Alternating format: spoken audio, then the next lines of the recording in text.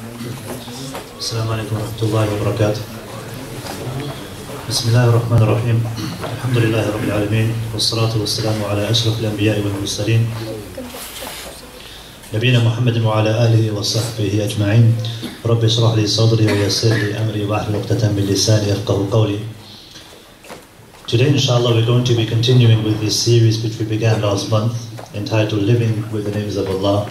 And as I mentioned last month, uh, the aim and the purpose and the idea behind this series of lectures is not just to talk about the names of Allah and their meanings, but try to, as much as we can, embody these names in our day to day lives. And the reason for this is because many of us, we may know the meanings of these names, uh, we may know, uh, you know, the different names by heart, uh, but in terms of how it's supposed to affect us, how it's supposed to influence and change us for the better, that's something which maybe many of us either aren't familiar with, or if we are, then we don't really embody it in our day to day lives. And last month, we began the series talking about the names of Allah Ar-Rahman and Ar-Rahim. And we gave different examples uh, from the Quran and from the Sunnah of the Messenger of Allah وسلم, and from the companions and the scholars about how Allah, first of all, mentions and talks about these names in His book and how uh, the Prophet ﷺ would uh, embody rahmah and mercy upon the creation, and we gave different examples. So today, inshallah, we're going to be covering some more names of Allah, and these names are Al Ghafur, Al Ghaffar, Al Ghafir, and also the name Al Afu. And these names, especially the first three, uh, Al Ghafir, Al Ghafur, and Al Ghaffar, these names as you can and as you can imagine, they all come from the same root because they sound similar. And the root of all these names is uh, Ghafar, Ghain, Fa, and Ra. And they all have a similar meaning with small and slight differences. Literally, the word Ghafara, brothers and sisters, literally, the word means to cover something up. So when you conceal, when you cover something, when you hide something, you can't see it anymore. That's what the word ghafara means. And this is why uh, the word for helmet in Arabic is maghfar. Maghfar, with the same letters. Mim and then ghain, fa and ra. Maghfar. Because, why? Because it conceals the whole of the head. It's protecting the head, it conceals the head. When you wear the helmet, when you go to battle and you wear the helmet, it's supposed to cover the whole head because it's covering, it's protection. So it conceals the whole head. So it's using the same root as these names of Allah. Because like we said, the word in of itself, literally it means to cover something up, to conceal something, to hide something. And with respect to these names, how is this meaning connected to the names of Allah? Because Allah subhanahu wa ta'ala is the one who covers the sins of his slaves with his covering. So this is the connection between the literal meaning of the word ghafara and the shari'i meaning of these names of Allah subhanahu wa ta'ala. And we mentioned three names, Ghafir, uh, Ghafur and Ghafar. And also we mentioned Al-Afu, which we'll explain and mention why we're adding that name into these names. But what are the differences between these three names first of all?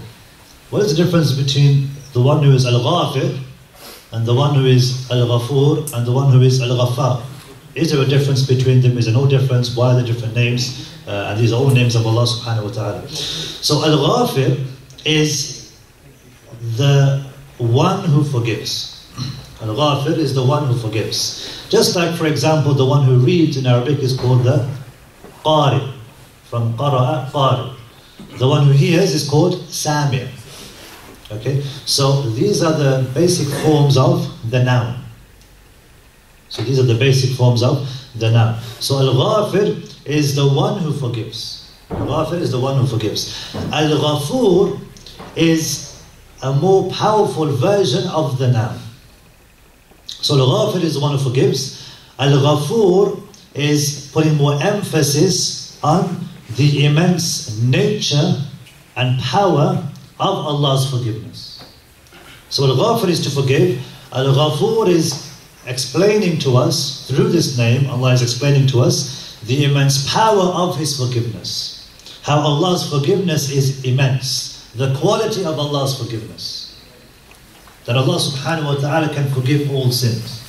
إِنَّ اللَّهَ يَغْفِرُ الذُّنُوبَ جَمِيعًا Allah says, Verily Allah forgives all sins. If a person turns to Allah and repents to Allah sincerely, Allah can forgive all sins, even shirk if he does it before he passes away, if he repents to Allah sincerely. So this is showing us the power of Allah subhanahu wa ta'ala's forgiveness. How Allah can forgive all sins, and Allah is emphasizing with the name Al-Ghafur the power of His forgiveness, how He can forgive all types of sins, the quality of His forgiveness. Al-Ghaffar is the one who always forgives. It's the quantity of the forgiveness of Allah subhanahu wa ta'ala. So Allah is continuously forgiving. Allah continuously forgives. So there's a slight difference. When we talk about Al Ghafur, is the one who is emphasizing the power of His forgiveness, how immense Allah's forgiveness is. Al Ghaffar is the one who always forgives. Somebody commits a sin, he repents to Allah sincerely, Allah will forgive him. He commits the same sin the next day, and he asks for Allah's forgiveness sincerely, Allah will forgive him. The third day, he does the same thing, Allah will forgive him. The fourth day, the fifth day, every single day of the week, Allah subhanahu wa ta'ala will forgive him. The day, every single month, every single year. It's, it's possible that Allah subhanahu wa ta'ala could forgive a person continuously because this is a sign of Allah's forgiveness. It's not just immense, okay, for huge sins which a person may commit, but it's also regular. It's consistent. Allah isn't someone, unlike human beings, who may forgive on one day if he's feeling, you know, happy, he's feeling generous. Know, say, I'll let you off today. Okay? And then the next day says, that's it, I'm not, I'm, I'm not in a good mood. Allah's forgiveness, and we mentioned this last, last lesson as well, with the names of Allah, we have to understand these names in the most perfect and the best and most beautiful ways when we attribute them to the most perfect. So when we talk about forgiveness, Allah's forgiveness isn't like our forgiveness. It's different because Allah can forgive major things that happen, major things that a person can do, major sins. Okay? And He can do them continuously, Allah can still forgive them. That's the power and the beauty and the perfection of the forgiveness of Allah subhanahu wa ta'ala. So you have Al-Ghafir, which is the one who forgives. Al-Ghafur, the one who has the immense power to be able to forgive even huge sins. So the power of his forgiveness. And Al-Ghaffar, the one who forgives always. The frequency, the quantity of the forgiveness of Allah subhanahu wa ta'ala. Al-Afu, I mentioned here because it has similar meanings. Al-Afu is the one who pardons. Literally, if you saw the word, okay, it would, it would say the one who pardons or something, or something similar to that the one who pardons. And literally the word al-afu means to remove, to remove all traces. To remove all traces, like for example, if a person was walking in the desert and there was footprints that he was leaving behind as a result of him walking in the desert, and then a wind blew, and as a result of that strong wind, sand was picked up with this wind, and it ended up covering the footprints. So that if there was a person following this person, okay, five minutes behind him, he wouldn't be able to see where this person went because the footprints are completely covered up. So Al-Afu is the one who removes, literally the word means to, to remove all traces like wind blowing in sand and completely removing footprints. So Allah subhanahu wa ta'ala conceals, hides, ghafara, hides one's sins, covers it completely, and also Allah subhanahu wa ta'ala removes all traces. Removes all traces of the sin. When you repent to Allah, it's as if it never it's as if it was never even there.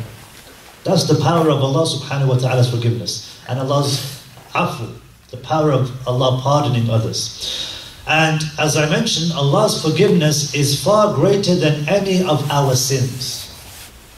Allah's forgiveness is greater, is far greater than any of our sins. So when a person, in fact, uh, commits a sin and then thinks to himself, "This sin, I don't know how Allah's going to forgive it. You know, I've done something crazy. I've done something major. It's something which, you know, I, I don't know what I'm going to do. How can Allah forgive this?"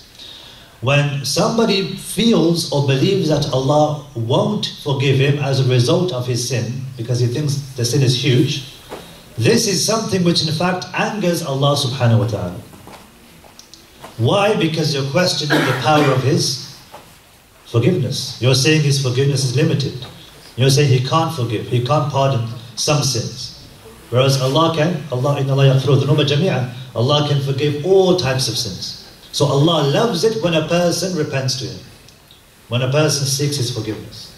So all of this shows us the power of Allah's forgiveness and also the immense importance of turning back to Allah, repenting to Allah, seeking Allah subhanahu wa ta'ala's forgiveness. And in the Quran, in the last ayah of Surah Al-Baqarah, okay, one of the greatest verses of the Quran, Allah subhanahu wa ta'ala mentions these names together. And it's in the form of a dua that he encourages us to say because the du'as in the Quran are du'as which are you know uh, perfect du'as or you know complete du'as in a way. And that's why they're in the Quran. And so at the end of this uh, surah this, this uh, beautiful surah in the Quran Allah says anna. This supplication. Anna. Pardon us if we fail to do what we're supposed to do wa'fu anna waghfir lana and forgive us if we do what we're not supposed to do. وَاغْفِرْ لَنَا Forgive us. وَارْحَمْنَا And show mercy upon us. Because even if you forgive us, even if you, even if you pardon us, it's only with your mercy of Allah that we will earn your reward and will enter your paradise. It's only with Allah subhanahu wa ta'ala's mercy. And so this supplication, this supplication mentions these uh, you know, specific names of Allah in the form of a dua. Request, requests uh, to Allah from the slave. Wa'fu anna, pardon us, waghfir lana, and forgive us, warhamna, show mercy upon us. Because no matter what a person does, at the end of the day, Allah, Allah Azza wa Jal is the one who is the king of the worlds, the one who is the creator of the heavens and the earth, the one who allows and prevents uh, people from entering paradise or hellfire. So without his permission, without his mercy, Okay, nobody has been given free reign to be able to enter paradise. Allah subhanahu wa ta'ala, He tells us in the Quran uh, about the importance of forgiveness and the importance of uh, this attribute of forgiving between human beings. Allah says, Ya ayyuhalladhina amanu, O you who believe, inna min azwajikum, verily in your spouses, wa awladikum, and your children, عَدُوٌّ لَكُمْ Verily in them are some who are enemies to you. Okay? Now this doesn't mean literally that you're enemies. Okay, they're trying to kill you or they want to attack you or maybe in some cases, but generally speaking, that's not what's intended here. What's intended here is that sometimes when you're with your spouse, when you're with your children, it can be the case that they may end up distracting you to the extent that maybe you forget to pray or you forget to do certain acts of, you know, acts of worship as a result of, you know, the dunya, as a result of this world. So it could be the case that, you know, somebody is at home with his spouse, you know, somebody's at home with her spouse, and as a result of them being preoccupied, okay, with other things, he or she may end up neglecting the worship of Allah. So this is something which can end up happening. So Allah Azza wa says, they could be enemies to you. فَاحْذَرُوهُمْ So be wary of this. Be wary of them. Be careful that it doesn't overtake your lives and you end up neglecting your duties as a Muslim, neglecting your worship of Allah subhanahu wa ta'ala. And then Allah subhanahu wa ta'ala says, if this does happen, sometimes how would a person react? He would say, if it wasn't for you, then I would have prayed on time. If it, was, if it wasn't for you, okay, give me this headache of having to go out and do some shopping or sending me here and sending me there and telling me to do this and do that. If it wasn't for you telling me to, you know, cook and clean and, you know, if you just looked after the kids for five minutes, then I would have prayed. Yeah? So you end up becoming annoyed, you end up becoming angry. Okay? And you start having quarrels and arguments. Allah subhanahu wa ta'ala, He says, وَإِن تَعْفُوا And if you pardon, وَتَصْفَحُوا And you overlook, وَتَغْفِرُوا And you forgive, فَإِنَّ اللَّهَ غَفُورٌ رَحِيمٌ Then verily Allah is the one who is all forgiving and is all merciful. Meaning, if an individual is not forgiving, then he needs to remember Allah subhanahu wa ta'ala is forgiving. So a person should show forgiveness to others because his creator is somebody who is all forgiving and ever forgiving. If a person repented to Allah, Allah would forgive him. So likewise, we should show forgiveness towards others. And also Allah subhanahu wa ta'ala tells us in the Quran, uh, in an ayah, which is after ayat talking about divorce. Allah subhanahu wa ta'ala, He says, وَأَن تَعَفُوا أَقْرَبُ لِلتَّقْوَى Allah says, if you overlook, if you pardon, that's closer to righteousness. Meaning, when a person quarrels with his or her spouse, and as a result of this, you know, they have disagreements, arguments, may end up leading to, you know, a, a more serious situation of divorce, etc. Allah subhanahu wa ta'ala is saying, if you overlook, if you just pardon that person, overlook that person's faults, that's something which is closer to taqwa. Taqwa is attaining nearness to Allah. Taqwa is righteousness, piety meaning you attain, you're attaining closeness to Allah. So how can you attain closeness to Allah? By overlooking others' faults, by being easygoing, by you know pardoning, by forgiving. And Allah says, "Wala" in the same ayah, "Wala tansaw al-fadla. Don't ever forget the virtues between you, the benefits between you, the good things, the positives that you both possess, the good qualities. You know, we may have friends uh, who they have good qualities and they have bad qualities, but they're our friends. And so we stick with them, we hang around with them, we spend time with them, and maybe they get into a fight or they get into a quarrel or an argument with somebody else. Okay? But we still hang around with them. Why? Because they're our friends. This is a typical, typical example of us overlooking their faults. We know they have the, these faults. Maybe we try to advise them. But we still hang around with them, they're still our friends. Okay? Because we recognize the virtues and the positives and the good things they possess. Yes, they may have some deficiencies, but we don't focus on those things because they're our friends. If they were our enemies, then maybe we would focus on those deficiencies. But because they're our friends, we overlook them. We say, hey, he's a good guy, you know, deep down, he's just got these flaws. He's get, gets angry very quickly. He says some, says things, doesn't think about what he's saying, etc., etc. So we make excuses for them. But how many of us make excuses for our spouses? You know, it's something which uh, maybe we don't do as much. You know, we try to find the slightest thing wrong. It's the opposite, isn't it? SubhanAllah, even though, you know, it's, it's a closer relationship. So in fact, there should be more pardoning, there should be more forgiving. There should be more rahmah and mercy in your relationship. So here Allah subhanahu wa ta'ala is telling us, don't forget the virtues and the good between you. Inna Allah bima ta'amaluna basir. Verily Allah is all seeing of uh, whatever it is that you do. Uh, istighfar and forgiveness, brothers and sisters, and seeking Allah's forgiveness is something which all the prophets of Allah would advise their people to do. some of the prophets of Allah in the Quran, uh, they mentioned, and it's mentioned that they will tell their people, وَاسْتَغْفِرُوا رَبَّكُمْ Seek forgiveness in your Lord. Repeatedly. Many prophets are mentioned telling their people to seek forgiveness in your Lord. And so the fact that the prophets of Allah are advising their people to seek forgiveness, to make istighfar to Allah, shows us the virtue of istighfar if, it, if the prophets of Allah are telling their people to seek forgiveness in Him. And we uh, talked about the mercy of Allah subhanahu wa ta'ala last month. And we may have mentioned the example of the prostitute who did nothing except feed a dog who was thirsty. And the hadith is mentioned, uh, and in this hadith, that's the only single act that, that is mentioned that she did, as a result of which Allah subhanahu wa ta'ala forgave her of her sins. So her career was based on sin and haram. On a daily basis, she was committing haram, like regularly. Zina, basically. Fornication. Yet, when she just fed this dog who was thirsty, Allah subhanahu wa ta'ala forgave her and overlooked all of her sins. So that's the extent of Allah subhanahu wa ta'ala's forgiveness. And so if we reflect and we look at our own lives, yes, maybe somebody will continue to maybe somebody will continue to commit sins or somebody will continue to argue with you or you're not happy with the way they behave towards you.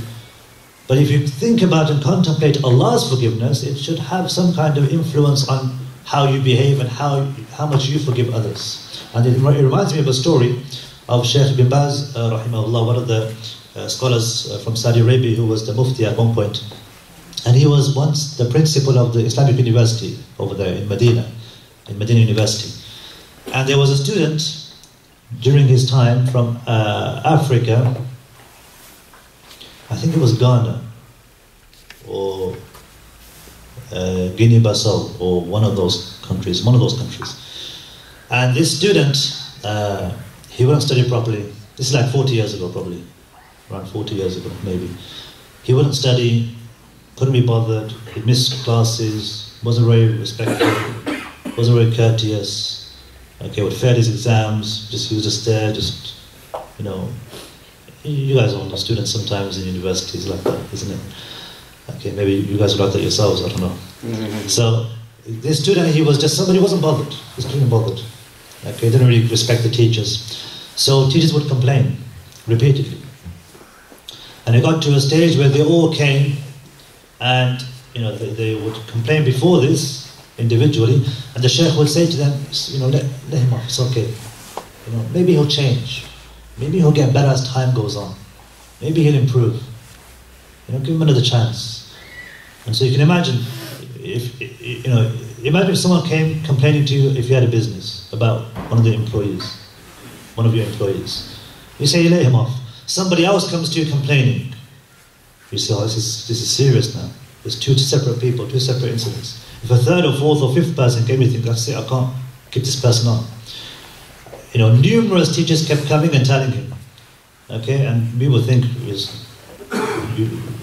you wouldn't blame him if he got rid of the student. But he would, he would keep on telling them, you know, it's okay, let him go, let him off. You know, he'll, maybe he'll get better, maybe he'll improve. Until it was his final year. And then all the teachers got all the teachers got together because he said he's not improving, he's still the same, he hasn't changed, his akhlaq is still bad, he's still not studying properly, he's still failing his exams. You know, just what's the point of him even being here? What's the point? And so the sheikh says his final year, just you know, let it go, you know, he's gonna finish this year, etc. And so uh, the student, he eventually graduated, okay, he finished, he went back to his country, and uh, the first uh, year when he was back, uh, he went back home and uh, he would go to the masjid, etc. And then after one of the salawat, okay, somebody would come and ask him questions. And he'd be like a bit surprised because it's never happened to him before.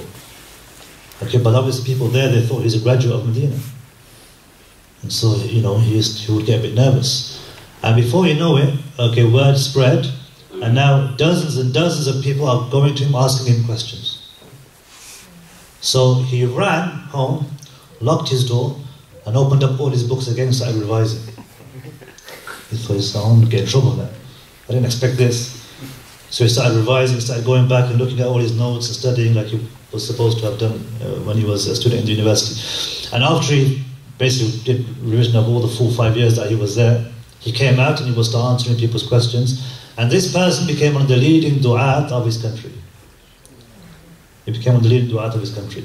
The point being is look how the forgiveness of the Shaykh for this student led to this barakah and this khair, and this good. You know, all of us, if, most of us, if not all of us, would say, yeah, we don't, yeah, let, let him go, get rid of him. What's the point of him staying? But look at how forgiveness, there's always barakah, there's always khair, there's always good in it. And even the Messenger of Allah he said, uh, it's better to err in forgiveness than to err in punishment. For example, if somebody was uh, accused of, of crime, of a crime, in Islam, actually in Islam, in Islamic uh, law, if a person is accused of a crime and a judge was there responsible for the case, he would always err on the side of caution, as opposed to punishing the person. He would find whatever excuse he could find to forgive the person. Because obviously, when you execute somebody, when you punish somebody, you can't take it back. So, subhanAllah, forgiveness is something which has uh, beautiful uh, consequences as a result. Abu Bakr radiallahu an, he once asked uh, the Messenger of Allah sallallahu wasallam, he said, O Messenger of Allah, alimni dua ad'u bihi fi salati. Teach me a dua that I can uh, recite in my prayer. And so, uh, the Messenger of Allah sallallahu wasallam, he said, say, Allahumma inni dhalamtu nafsi dhulman kathira. Oh Allah, I have, I have committed so many sins. I've oppressed, oppressed myself so many times. وَلَا يَغْفِرُ الذُّنُوبَ إِلَّا أَنْتَ And nobody forgives sins except you. فَاغْفِرْ لِي مَغْفِرَةً مِنْ عِنْدِكَ So forgive me from a forgiveness from yourself. وَارْحَمْنِي إِنَّكَ أَنْتَ الْغَفُورُ الرَّحِيمُ And show mercy upon me. Verily you are the one who is most forgiving and the most merciful. And it's a famous dua that all of us should know. Allahumma inni nafsi dhulman kathira wa la yaghfiru dhunuba illa ant faghfir li min indika warhamni innaka antal ghafurur rahim. Uh, we also know from the seerah of the Prophet ﷺ of how he would forgive, how he would overlook. We know at the conquest of Mecca, when the Messenger of Allah conquered Mecca in the eighth year of the Hijrah, uh, two years before he passed away, uh, when he entered Mecca and he went into the Kaaba and he destroyed the, the idols. And of course, this is basically the first time he's seen the Kaaba since he fled, since they left. And when they had fled, they were being persecuted. Companions were being killed. They were being whipped. They were being tortured. Companions were being harmed. Okay? Even the Messenger of Allah himself was beaten. Abu Bakr himself, others. And so when they left, they left humiliated, they were being, not just humiliated, they were being killed. And there were numerous wars taking place in order to eradicate Islam and the Muslims and to kill the Messenger of Allah. So when we look at this scene now, where the Messenger of Allah is in Mecca, he's by the Kaaba, he destroyed the idols, everybody is watching, okay? It wouldn't be out of the realms of uh, possibility or impossibility that he would punish them as a result of what they've done. There are people there, okay, still there, who killed and harmed the companions. And so he said, مَا ظَنُّكُمْ أَنِّي فَاعِلٌ بِكُمْ What do you think I'm going to do to you? And they said, أَخٌ كَرِيمٌ ibn أَخٍ كَرِيمٌ You are the most noble person, the son of the most noble person. You know, mentioning him by the nicest names, because they know it's, it's that's it for them. And this shows us that even they knew it was going to be the end. And so he said, اذهبوا فأنتم الطلقاء Go, you are free. And I will say to you what Yusuf السلام, said to his, to his brothers, لا تثريب عليكم اليوم يغفر الله لكم وهو أرحم الراحمين. There's no harm that's going to be done to you today. Allah has forgiven you and He is the most merciful from those who show mercy. And He forgave every single one of them. So this shows us how the mercy of Allah subhanahu wa ta'ala can overcome and the forgiveness of uh, Allah was overcome in the life of the Prophet ﷺ himself and how he behaved and how he treated others. There's an incident which took place of a companion by the name of Hatib. And Hatib was from Mecca and he moved to Medina. Before the conquest of Mecca took place, so this is before the conquest, the Messenger of Allah ﷺ told the companions to prepare and he never told them where they were going. He never told them they were going to Mecca. And so Hatib sent a letter in the hands of a slave woman to the Quraysh, telling the Quraysh that the Muslims are coming to Mecca. He figured out somehow, because he was he was he was quite smart, he figured out that the Messenger of Allah must be going to Mecca. So he sent a letter to the Quraysh telling them that save yourselves, be ready because the Messenger of Allah is coming, Muhammad is coming. And this is a companion. So Jibreel came down and told the Messenger of Allah this is what's happening. So they caught the woman, they took the letter, and they brought Hatib. And Umar radiallahu was there. And he said, O Messenger of Allah, this man is a munafiq. He's not a Muslim. He just told the non-Muslims about what's about what we were going to do. We should execute him right here. And so the Messenger of Allah وسلم, he asked Hatib, he said, what, what happened? What did you do? Did you write this? He said, Yes, I wrote it. He said, Why did you write it? He said, O Messenger of Allah, all of you have family members in Mecca, you're from tribes that can take care of the people in Mecca. You still have family members over there. Even though you're here, you're from good respected tribes. I'm not from a respected tribe. I have family members there. If they find out that the Muslims are coming, they're going to kill people because they're going to think it's the end of our lives. And we're just going to get revenge on those that we can get revenge on. And we're going to harm those people who maybe have harmed us, or maybe those people who are inferior to us because it was a, it was a societal thing, tribal thing. Some tribes were superior and better than others. And so he said, if they find out that some of the Muslims are there in Mecca, and there were Muslims there in Mecca, if they find out that the Messenger of Allah is coming, maybe they'll kill my, my family members. I have nobody to protect me. So I was hoping, and to protect my family, so I was hoping if I sent the letter, they would show some mercy on my family members. They wouldn't be tough, rough and tough on them, they wouldn't harm them. And I knew that you would enter Mecca. I knew that Allah would be with you. I know you're the messenger of Allah. I knew that whatever happened, Allah would decree that you would enter Mecca and you would be victorious. And so Umar radiallahu anhu, he said, Oh Messenger of Allah, we should still execute him. Because even if he's still a Muslim, he's committed treason. This is still treason.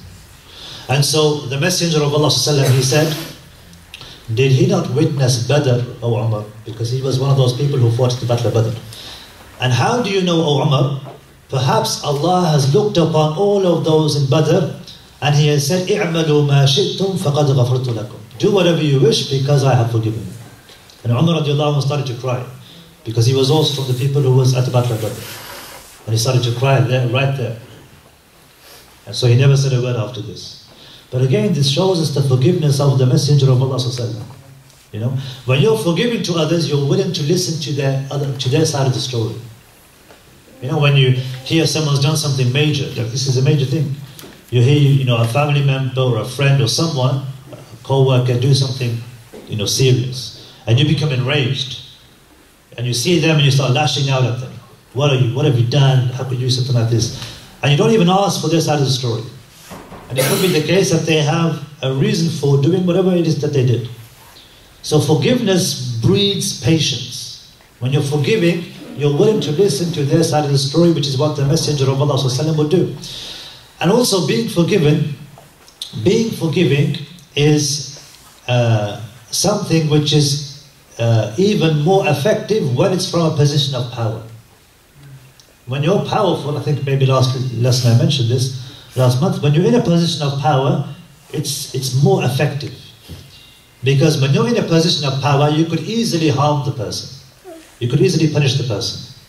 You know, if, if uh, a traffic warden or a police officer uh, gives you a ticket, gives you a fine for speeding, you can't say, I'll take it this time, but I'll let you off next time. I'll let you off this time, next time I'm not going to accept it. You can't, you, you, maybe you could say that, but you're not going to really get anywhere. He might make note of your number plate and start driving and following you around or something. Isn't it? So it's not a case of you being in a position of power where you can say anything. When you're in a position of power, okay, and let's say he lets you off, okay, that's something which is a sign of, it's a lot more effective, it's a sign of one's integrity, possible. So with Allah subhanahu wa ta'ala forgiving in such a position of power where he could be punished, he could be punishing someone as a result of his sins, that's something which shows his power. It shows his the effectiveness of uh, one's forgiveness. Even in our situations, those who are under our responsibility, those we have control of, we have power over, we're responsible for. When we show forgiveness to them, when we recognize their shortcomings and we pardon them, this is a sign of, you know, a sign of one's character. It's a sign of one's character, especially as we've seen with the Messenger of Allah. There's another story which mentions the forgiveness of the Messenger of Allah of a companion by the name of uh, Ghawrath. Ghawrath. Ghawrath was once uh, traveling, and he wasn't a companion at this stage, and he was an enemy of Islam and the Muslims, and he saw the Muslims camping and resting after a battle, a long, a long journey. And so they were extremely tired, they were resting, and the Messenger of Allah was resting, was resting, was resting under a tree, and the companions were around him. And he hung his sword on one of the branches of the tree which was above him. And the companions were completely tired, they were completely knocked down. So this man, Ghawrath, he thought to himself, this is my chance. They're all exhausted. No one's going to even know that I'm, you know, that I'm there. I'll walk through the crowd. And no one will have any idea. They'll just think I'm another companion, I'm another Muslim. And I'll go all the way to the Messenger of Allah. I'll kill him with his own sword. Look at this. From his perspective, he's thinking, this is, I'll be a hero. So he makes his way through the crowd, gets to the, gets to the tree, takes the sword of the Messenger of Allah raises it above the head of the Prophet He's lying down. And imagine if someone, you know, imagine if you woke up one day and you're in bed and there's a man, stranger in front of you with a gun. You'll be, you'll be shocked. You'll probably die of a heart attack before he even shoots you. And you'll be scared. You'll start to cry, you'll be shocked. And so the Messenger of Allah, وسلم, he opens his eyes and he just stares at him. And Ghawrath looks at him, not panicking, not screaming, not shouting, not calling for the companions. And so he says, Ya Muhammad, O Muhammad, man yamna'uka minni? Who is going to prevent you from me? And so the Messenger of Allah he says, Allah. And at this moment in time, Ghawrath falls to his knees and the sword falls out of his hands. It's a miracle from Allah. And so the Messenger of Allah stands up, takes a sword, raises a sword, and says, Man yamna'uka minni? Who is going to prevent me from you? You don't believe in Allah. You're not a Muslim. And he says, La ahad. He says, nobody. I'm, I'm, that's it now. I'm, amongst, amongst enemies, I've just been caught trying to kill the Messenger of Allah. Nothing's going to happen. I, no one's going to save me now. It's the end. I'm finished. And so the Messenger of Allah said to him, Why don't you become Muslim? And he says, No, I'm not going to become Muslim. In this situation, you would think someone like Ghawrath would say, Yeah, I'll become Muslim. That's a good idea. Right now, it's probably the wisest thing. And he asks him again, Why don't you become Muslim? He says, No, I'm not going to become Muslim. A third time, Why don't you become Muslim? Again, he's not being forced. He says, No. But I will never fight you ever again. And I will never accompany those who are fighting you ever again. And so he left. And he went back to his people and he said, I just came back from the best of men. I've never met a man like this in my life. And some narrations mention he became a Muslim afterwards. Abu Hurairah radiallahu anh, he says that uh, the Messenger of Allah said, ما نقصت صدقة من مال Charity never decreases wealth. وما زاد الله عبدا بعفو And an individual, uh, when he pardons, he never decreases in anything, but rather he increases in honor.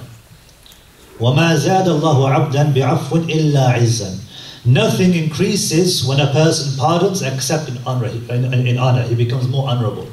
وَمَا تَوَاضَعَ أَحَدٌ لِلَّهِ إِلَّا رَفَعَهُ اللَّهِ And a person never lowers himself for Allah except that Allah raises him in, in terms of status. The righteous of the past, they would also show forgiveness they would also be forgiving. And there's a time when Abu Bakr radiallahu an was in a very difficult trial when his own daughter was accused of immoral acts. Aisha radiallahu anha, the daughter of the Messenger of Allah, the famous story of the ifk, the slander against Aisha radiallahu anha. And one of those people, some of the companions fell into the error and the mistake of spreading this rumor. And one of those people was in fact a distant cousin of Abu Bakr radiallahu anhu, his own family member, who was spreading this slander against Aisha anha that she committed this immoral act. And on top of this, Abu Bakr anhu was actually giving charity to this cousin of his because he was poor. So on a regular basis, he would give him money because he was poor. He wasn't wealthy. And so when he found out this was one of the people who was spreading this rumor, of course he became enraged. And he said, By Allah, I will never give this man another dirham, ever. Look at the way I've treated him, the way I've taken care of him, the way I've helped him. He's my cousin. And I've been taking care of him financially, been giving him money, looking after him, taking care of his needs, etc. And this is how he repays me, spreading rumors about my own daughter, my own family member. You know, this is my cousin.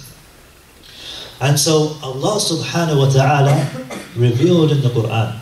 Allah subhanahu wa ta'ala, He said, وَلَا يَأْتَلِ أُولُو الْفَضْلِ مِنْكُمْ Let not those of virtue amongst you and wealth, وَالسَّعَةِ أَن يُؤْتُوا أُولِي الْقُرْبَى Make an oath not to give to their relatives. وَالْمَسَاكِينَ وَالْمُهَاجِرِينَ فِي سَبِيلِ اللَّهِ Nor to those who are poor, nor to those who are emigrants for the sake of Allah, they made the hijrah. وَلْيَعْفُوا وَلْيَصْفَحُوا Pardon, instead pardon and forgive. Overlook their faults. And then Allah says, أَلَا تُحِبُّونَ أَن يَغْفِرَ اللَّهُ لَكُمْ Wouldn't you love that Allah should forgive you? Wallahu ghafur rahim. And Allah is the one who is all forgiving, all merciful. So Allah is saying, keep showing forgiveness, overlook what they're doing. as a result of this, Allah will forgive you.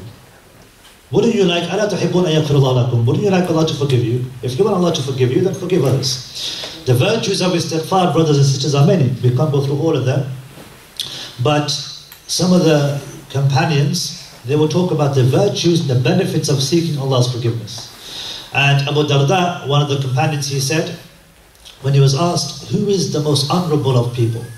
He said, the one who pardons when something happens to him فَعْفُوا يَعِزُكُمُ اللَّهِ So pardon others and Allah subhanahu wa ta'ala will give you honor.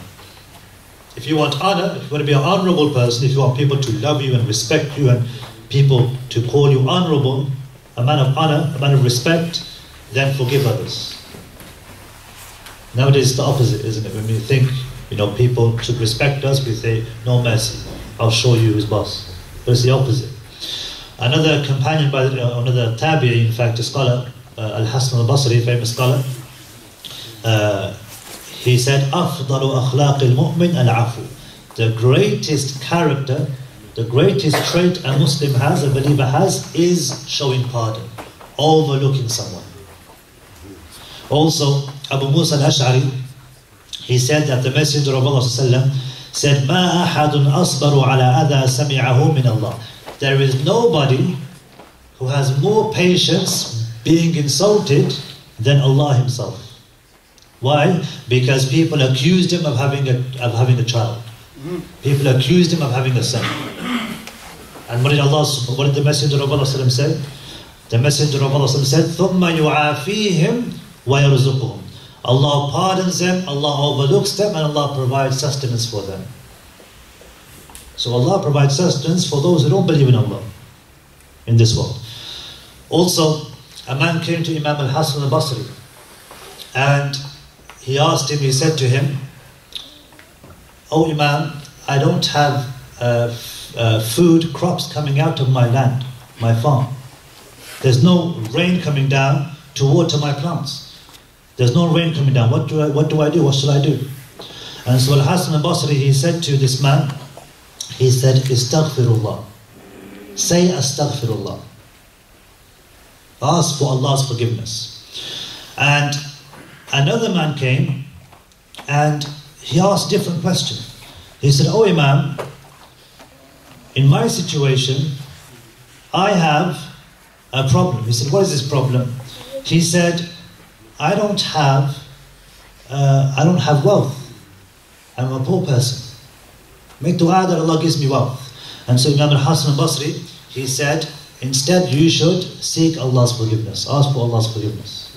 Another man came and he said, oh, oh Imam, I don't have any children. What should I do? Give me some advice. He said, say astaghfirullah. So for all three people, he said astaghfirullah, say astaghfirullah. And so his students around him, they said, three people came and they asked different questions. And all he said to them was just say astaghfirullah. Why? And so the Imam said, don't you know the statement of Allah subhanahu wa ta'ala when he said in the words of Nuh alayhi salam, فَقُلْتُ اسْتَغْفِرُوا رَبَّكُمْ So I said to them, seek forgiveness in your Lord. He said to his people, seek forgiveness in your Lord. فَقُلْتُ اسْتَغْفِرُوا رَبَّكُمْ إِنَّهُ كَانَ غَفَّارًا He is the one who is always forgiving.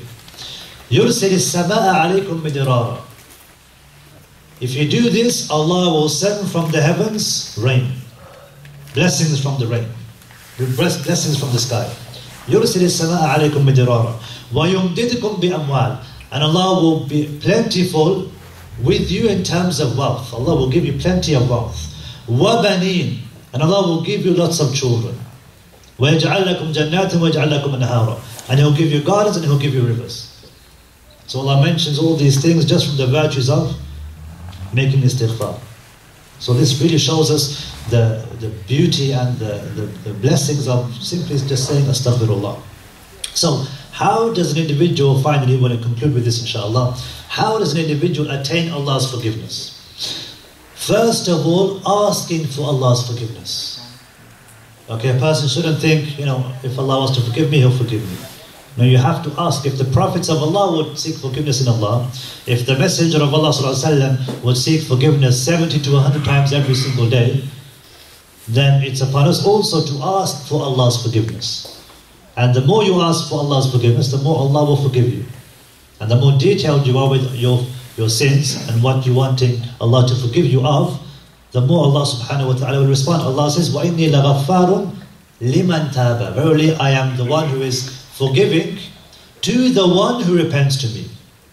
وَآمَنَ وَعَمِلَ صَالِحًا And he believes and he does good righteous deeds. Number two, forgiving others as we can see from these examples which I've mentioned uh, in, this, in this lesson. Forgiving others. When you forgive others, Allah subhanahu wa ta'ala will forgive you. If you're somebody who's rough and tough and doesn't forgive people, then Allah subhanahu wa ta'ala won't forgive you. So this is why the Messenger of Allah والسلام, he told us, uh, the one who covers a Muslim's faults, Allah, Allah subhanahu wa ta'ala will cover his sins on the day of judgment. So just like how uh, if you were forgiving to others and if you showed good conduct towards others and you showed the qualities of Allah, okay, uh, in others from yourself, Allah subhanahu wa ta'ala will show His qualities towards you. So inshallah we'll conclude uh, with this and uh, I think we'll take uh, questions. Are we going to take questions? So we'll take some questions inshallah, maybe we'll take about three questions. Uh, before we begin, uh, last lesson somebody asked about uh, having names like Rahman, for example, and we mentioned if the name consists of Alif and Lam, uh, then uh, some names uh, aren't permissible for you to possess. So the scholars they said that there are two categories of names. You have names that only belong to Allah. Okay, so you can't use them at all, even with Alif and Lam. So for example, Allah or Ar-Rahman. Okay, even Ar-Rahman, if he was without the Alif and Lam, then you couldn't use the name Rahman. Because these names are exclusively to Allah. Al-Mutakabbir, the one who is the most majestic, the most proud. You can't have this name because it goes against the qualities of a Muslim. Al-Ahad, the one who is unique, the one. Okay, you want one, there's loads of of human beings. So you can't use this name in terms of uh, you know applying it to yourself. Uh, other names they could be applied, but of course without the alif and lam. So for example, uh, basir, somebody who's seeing, not al basir, but seeing because everybody sees. Allah's seeing is different to ours, okay? But a person can apply this. Uh, Allah is al ali, the Most High, but a person can call himself Ali. Okay, Ali radiallahu anhu. Uh, and so on. Rashid, for example, the one who is wise. Okay, the one who is thoughtful. Hakim, the one who is uh, the most, uh, the one who is wise, not the most wise. Al Hakim you can't have, but wise Hakim is something which is permissible.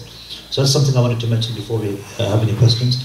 We'll take a couple of questions, inshallah, a few questions. Um, you know, you mentioned about the benefits of the istighfar that some of the prophets told them, you mentioned uh, about the rain coming down for example, now imagine let's say someone, for example, got a certain disease, for example, and if they were to do istighfar, would that get rid of the certain disease? Or let's say another person was to have, for example, but their hearing is weak or their eyesight is weak or something, and they do istighfar specifically for that. Would that strengthen that? Yeah, so there's also an ayah where Allah subhanahu wa ta'ala uh, Sorry. So the question was, uh, if somebody has illness, somebody has a disease, he has uh, problems hearing or seeing, or he has some kind of illness. If you make a istighfar, does it also uh, remove those things? So generally speaking, if a person remembers Allah, the more a person remembers Allah, the more a person will have uh, the chance to be able to be cured from any type of illness because Allah is the one who causes someone to become sick. Allah is the one who cures. And also in the Quran, interestingly, uh, in the words of one of the prophets of Allah, uh, uh, Salih or, or Hud alayhi salam, he told his people, وَاسْتَغْفِرُوا رَبَّكُمْ يَزِدُكُمْ قُوَّةً إِلَىٰ قُوَّتِكُمْ His people were very strong, physically strong. So he said, seek forgiveness in your Lord, يَزِدُكُمْ قُوَّةً إِلَىٰ قُوَّتِكُمْ Allah will increase your strength with even more strength. So one of the signs of uh, istighfar, making istighfar, is that you become physically stronger according to some of the uh, mufassirin. Because the quwwa here is referred to uh, as by the mufassirun as shidda. And shidda means physical strength. And Allah knows best. Um, is it the sin of not forgiving? Uh, is it a sin not to forgive? The brother's asking, is it a sin for a person not to forgive somebody? So if somebody uh, causes harm to you, then it's not obligatory for a person to forgive them. But there's great reward in forgiving them. For example, in a Muslim country, if somebody committed a harm, committed a crime upon somebody, and he was supposed to be executed, for example, the greatest thing a person can do is forgive. But it's not something which is obliged to do. Also, is it that it's forbidden for not speaking or, or not uh, a relationship for more than three days and three nights?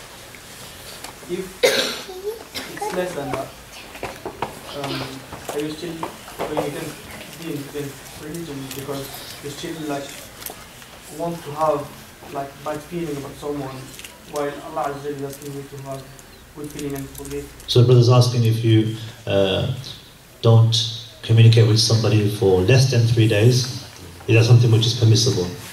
So as far as I know, the hadith mentions the maximum number of days where you can not talk to a person because you're upset with him is three days. That's the maximum. So one day is permissible, two days is permissible. Allah knows best. This is the last question. How do we um, pardon that Allah is a fool? So how does one have a view from another? So there's there's there two aspects to this question. Brother's asking how do you forgive in terms of you know is there anything specifically that you say or do? So of course, if somebody commits harm to you and he asks for your forgiveness, you could forgive the person verbally, but will you still have those feelings of being upset as a result of what he did? You may still have those feelings, but you've forgiven him. You've done whatever you could have done physically to forgive that person, and that's enough. That's enough because the Messenger of Allah when uh, Wahshi came to him as a Muslim, Wahshi was the one who killed his uncle Hamza with a spear, Battle of Uhud. So he became Muslim and he forgave him, but he said to him, Don't, if I'm ever walking, don't walk in front of me. Because every time when I see you, I'm going to think of Hamza. And you were the one who killed him. So don't walk in front of me. So the Prophet forgave him, but of course, you can't change what's in your heart. But when you forgive somebody, that in essence means on the day of judgment, you won't ask for recompense. You won't ask for uh, revenge or retribution as a result of what he did. We'll take one more question, inshallah. Um, I understand that a condition to seek forgiveness if you've wronged someone is that the person who's been wronged also forgives you before Allah uh, forgives. Is, is that understanding correct? And if that's correct, what if the person that you've wronged against is no longer living or there's no way you can get in touch with himself? So the brother's asking, uh, uh, is it a condition that uh, the person also has to forgive you? What if he's not around? What if he's passed away? What if he's gone abroad or he's not close by? So a person does whatever he's able to do to try to contact that person and to ask for his forgiveness. He does whatever he physically can. He tries his best. Allah says, Fattakullah masataqum. Fear Allah as much as you can. So you try your best to find him, to communicate with him, to meet him in person, to phone, to call him, to send a message, to email etc., etc. If you tried your best, then that's all Allah expects from you. Allah expects. Okay, so um, question from the sisters: Can you keep?